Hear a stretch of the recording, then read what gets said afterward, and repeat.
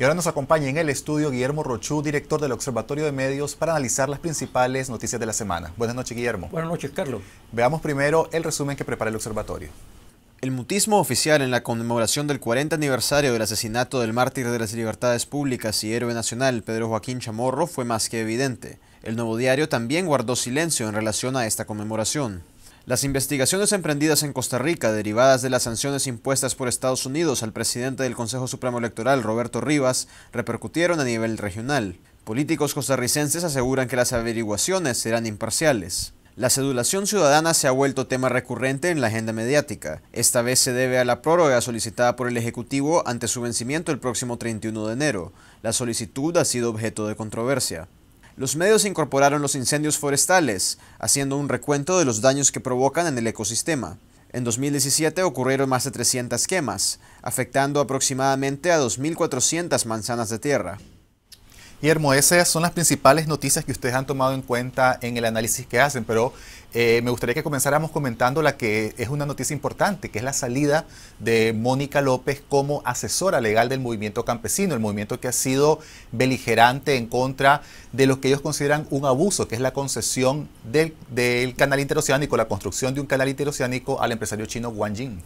Una enorme pérdida.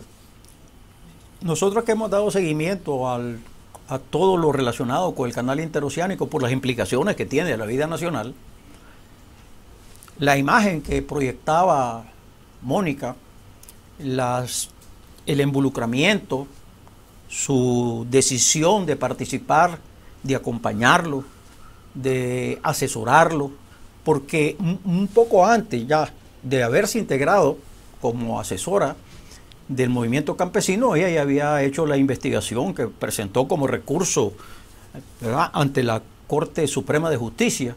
Es decir, una mujer que se dedicó de lleno al estudio para demostrar cuáles eran sus contradicciones jurídicas, las debilidades jurídicas, pero especialmente creo yo que habría que valorar en ella la manera desinteresada con que se involucró en esta lucha. Es decir, Mónica ha sido, creo yo, la cara más visible en defensa del movimiento campesino.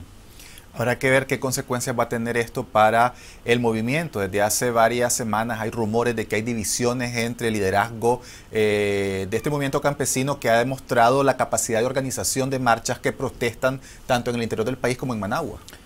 Bueno, si esa noticia es real, yo creo que aquí hay algún quinto columnista que obligó.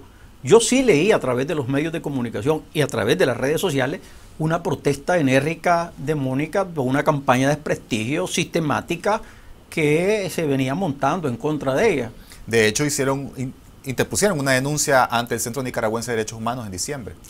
Y ahora bien, si eso está ocurriendo entre el movimiento campesino, yo no creo que quienes están apostando a debilitarlo vayan a, lograrlo. El liderazgo de Francisca Ramírez es indiscutible frente a los demás actores, independientemente de que ella se ha mostrado eh, amplia y ha reconocido que el movimiento lo integran una gran diversidad de actores y de dirigentes. Pero si nosotros, por ejemplo, preguntamos a los nicaragüenses cuál es la cara más visible y más creíble, es precisamente Francisca Ramírez, quien también ha sido objeto de campañas sistemáticas de desprestigio. Ahora, Mónica, yo no sé finalmente cuáles fueron los motivos, las razones que la indujeron a tomar esta decisión. Cualquiera haya sido los motivos, en verdad que sería interesante que reflexionara porque su apoyo a la causa del movimiento campesino creo que es invaluable. Esta es una noticia a la que le vamos a estar dando seguimiento tanto en este programa como en Confidencial. La otra noticia importante de la semana fue que se cumplieron 40 años perdón, del asesinato de Pedro Joaquín Chamorro, el mártir de las libertades públicas y héroe nacional, una celebración que pasó desapercibida absolutamente por el gobierno, cuya característica fue silencio absoluto sobre este tema. Aquí veo varias contradicciones. En primer lugar, recordemos que vamos a tomar como eh, contexto dos, dos, libros, dos investigaciones. Una, la epopeya sandinista del general Humberto Ortega. ahí de manera muy clara, precisa, el, quien fue el estratega de la revolución sandinista, al hacer la valoración de, la, de, lo que implicó el asesinato del doctor Chamorro hace 40 años, él lo que dice es que fue, como lo reconoció todo el pueblo de Nicaragua, el detonante o el catalizador más importante porque esa noche, el 10 de enero, por primera vez en Managua, las acciones que hubo contra el somocismo, desde luego con participación masiva de la ciudadanía, no dudo que había presencia de dirigentes sandinistas, sin embargo fue precisamente el asesinato del doctor Chamorro que produjo esa explosión y produjo también como, como resultado que el somocismo perdiera la escasísima, ¿verdad?, legitimidad que todavía tenía. Por el otro está el libro de Chuno Blandón, en el, Chuno, el libro de Chuno Blandón de, Fonseca, de Sandino a Fonseca igualmente hace un reconocimiento con una cosa que me parece importante de parte de, Chuno, que él rescata a todos los movimientos de lucha contra el somocismo. Y ahí aparece de manera medular el doctor Pedro Joaquín Chamorro. De tal manera que esos son uno de los elementos que te decía que nos sirvan de contexto. Pero hay otros aspectos.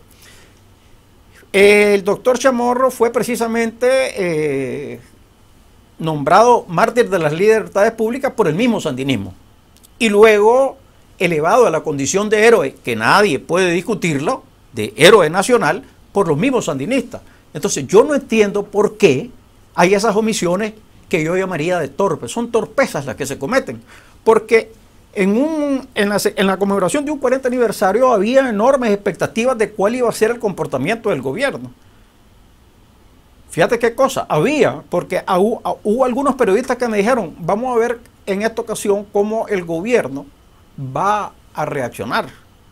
Entonces, ¿por qué motivo digo yo, habiendo actuado de una manera, hacen un enorme vacío? Pero bueno, ese es de parte del gobierno. A mí me asombró que algunos medios de comunicación de circulación nacional, y en este caso el Nuevo Diario, tampoco haya ¿verdad? escrito una sola línea de quién fue el mayor luchador en defensa de la libertad de expresión en Nicaragua. Y que esa libertad de expresión que se conquistó casi plenamente durante el gobierno de doña Violeta Chamorro, ¿verdad? De la que, de la que gozan los nicaragüenses de una manera cada vez más reducida por el asedio sistemático que hay contra los medios de comunicación, entonces te encontramos que hay un periódico que se beneficia de esas luchas, que tiene que reconocer la trayectoria de un hombre que no pueden nadie, en su sano juicio, cerrar los ojos frente a lo que ha significado o a lo que implica, porque pagó al precio de su vida por la defensa no solo de la libertad de expresión, sino la por la liberación del somocismo en Nicaragua. Desde el diario La Prensa, también Confidencial y esta semana y esta noche, durante la semana pasada se dedicaron grandes homenajes a la memoria de Pedro Joaquín Chamorro. Hicimos entrevistas, se publicaron reportajes y además en Confidencial estamos publicando día a día un capítulo de Estirpe Sangrienta, Los Somoza, por lo que invito a los televidentes que no lo hayan leído o lo quieran leer, porque es un libro que cuya edición está agotada, pueden leerlo todos los días en Confidencial. Fíjate que sí, este, está bien la invitación que haces, pero a mí me parece importante que se señale, la prensa acaba de hacer una edición, una reedición, ¿verdad? Y eh, Estirpe Sangrienta tiene un significado especial para el periodismo este, subcontinental. Hablo para quienes de una u otra forma están implicados con el nacimiento, el surgimiento en, este, en esta región del mundo de la crónica, de esa crónica ¿verdad? que tuvo eh, eh, en Rubén Darío, en Manuel Gutiérrez Nájera ¿verdad? y en José Martí, un impulso desmedido y que luego viene una nueva generación donde está Elena Paniatosca, eh, eh, Tomás Eloy Martínez, Gabriel García Márquez, ¿verdad? Eh, como los marseñeros, y Rodolfo Walsh, el argentino.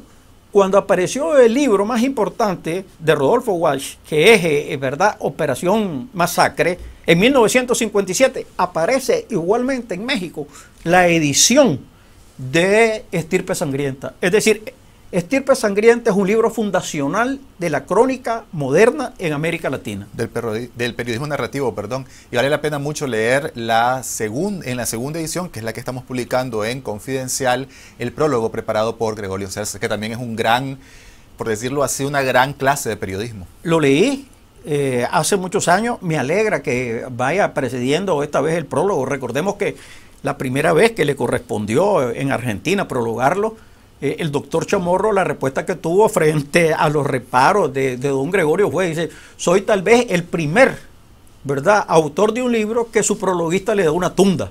Pero bueno, don Gregorio hace un reconocimiento y un elogio. Y, viniendo de ese hombre, sí, una mea culpa, pero viniendo de ese hombre, ese reconocimiento a Pedro Joaquín Chamorro, yo creo que ya con eso, ya de una u otra forma, se dimensiona su figura a nivel continental. Y demuestra la altura intelectual que tenía eh, tomando en cuenta que estaban desde el punto de vista ideológico en dos orillas diferentes. La otra tema que tiene que acaba, eh, ha captado la atención de los medios de comunicación tiene que ver con el magistrado presidente del Consejo Supremo Electoral, Roberto Rivas. En Costa Rica, la Fiscalía de Costa Rica anunció investigaciones por posible blanqueo de capitales eh, contra Rivas. Ya la presidenta Laura Chinchilla, expresidenta, perdón, de Costa Rica, se pronunció a través de una entrevista que dio el diario La Prensa y esas noticias que vienen de Costa Rica también han llamado la, atención de los medios aquí en Nicaragua. No solo lo, la entrevista que, dio, que le dio José Cuastro, que es eh, el corresponsal. el corresponsal de la prensa en San José de Costa Rica, igualmente en las redes sociales. Aquí la valoración que, hacen, que hacemos desde el observatorio es el vacío que hay de parte del gobierno de la República. Aunque Bayardo Arce, perdón que interrumpa, eh, ya se pronunció de una forma bastante particular sobre el tema. Pero él tomó distancia. Él dijo, no sé qué piensa el gobierno, como, como para decir Bayardo que él no era el, que, el, más indicado para hacerlo desde la perspectiva gubernamental, independientemente de que él es eh, un asesor del gobierno. Entonces, eh, lo que se está planteando es que ese silencio. Entonces la pregunta que muchos nos hacemos desde el punto de vista de la comunicación es si ese silencio es más dañino que manifestarse. Pero todavía eh, en las alocuciones que tiene el mediodía la apuesta Rosario Murillo no ha dicho una sola palabra sobre el destino inmediato como funcionario de parte del magistrado Roberto Rivas. Y lo que los nicaragüenses aducen es que lo que se está haciendo, eso es por el silencio, dice, lo que se está haciendo en Costa Rica, dice, no se está haciendo en Nicaragua, dice, qué pena, dicen algunos. Pero bueno, es un tema muy, muy delicado. Los, costarricenses lo que aseguran en la entrevista que dio Chinchilla es que existiendo una real separación de poderes en, en Costa Rica, no duda que el juzgamiento o las investigaciones o indagaciones que están haciéndose acerca de las inversiones que ha hecho eh, Roberto Rivas en Costa Rica dice que va a haber la más absoluta independencia. La respuesta hasta ahora del Estado, además de ese silencio, de esa actitud de fingir demencia sobre este tipo de cosas, tiene que ver con que lo han apartado públicamente. Roberto Rivas no estuvo en la juramentación de las autoridades electas en las pasadas elecciones municipales pero el alegato que hubo de parte de gente vinculada a, las esferas de gobierno fue que él se encontraba de vacaciones fuera de Nicaragua. Ahora, no sé si esa fue la respuesta. Y no sé si es lo que han dicho a través de entrevistas que aparecieron en los medios durante la semana. algunos, algunos especialistas, analistas políticos, es que le van a buscar un cargo diplomático para darle inmunidad.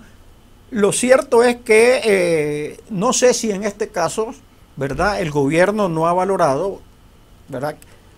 El impacto negativo que vuelve a tener el silencio. Es decir, ya esa actitud sistemática de no manifestarse frente a una serie de acontecimientos que, cuyo peso en la agenda nacional no puede obviarse, entonces ese silencio lo que abre son una gran cantidad de lecturas de parte de la ciudadanía y muchas de ellas es incluso de complicidad de parte del gobierno hacia el señor Riva. Nos queda poco tiempo, pero una noticia importante por eh, el peso que tiene para la ciudadanía es el hecho de la prórroga que se ha solicitado para las cédulas que entraban en vencimiento. Esa prórroga va hasta el 31 de enero. Aquí tenés una nueva polémica. Eh, nosotros, desde el observatorio que establecemos algunas prioridades, Sin embargo, hay un, hay un tema que vemos que de manera recurrente marca ¿verdad? la agenda de los medios de comunicación desde hace muchísimos años. Y ese tema de manera reiterada que aparece es la sedulación. Entonces pareciera que es una cosa que tuvo principio pero que nunca va a tener fin. Eh, el alegato, más allá del alegato que, hacen los políticos de que uno que, que esa prórroga es para beneficiar a, al gobierno, otros que porque no tienen la ciudadanía y, 300 Córdobas y en una casa dice las tienen que renovar cuatro, imagínense lo que implica para la familia.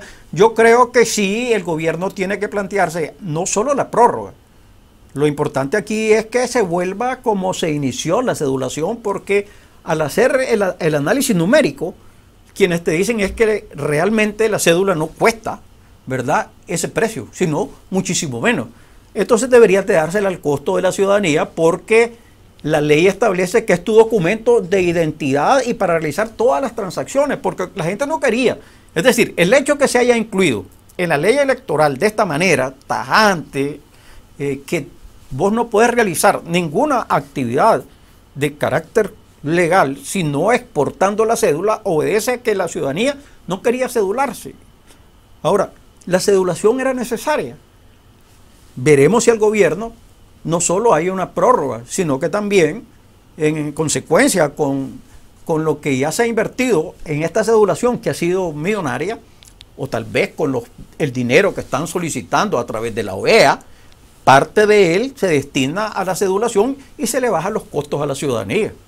Muchas gracias Guillermo por estar con nosotros hoy en el programa. Gracias por ver este video. Síganos en Facebook y Twitter a lo largo de la semana y los invitamos a suscribirse a este canal para recibir todos los reportajes y entrevistas de esta semana, esta noche y confidencial.